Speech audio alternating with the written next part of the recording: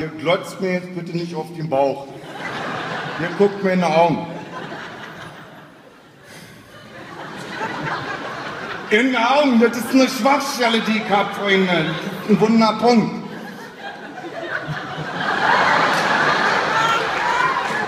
Hört auf jetzt!